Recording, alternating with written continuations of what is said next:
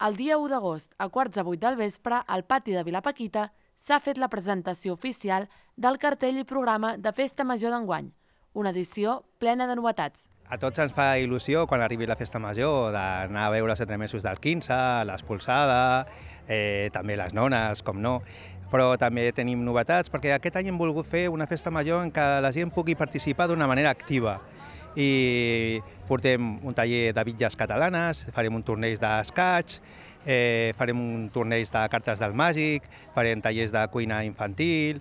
també farem un concurs de playback de gent gran, que aquest any venen colles convidades de Belgrat, de Mollet, de Granollers, i a veure si l'any que ve s'anima gent de Cardedeu. Pel que fa al cartell, enguany, l'encarregada del disseny ha sigut la il·lustradora i dissenyadora cardedeuenca Anna Martínez que inspirant-se d'elements tan simbòlics pel poble com la font Raspall o la fauna i flora de la zona,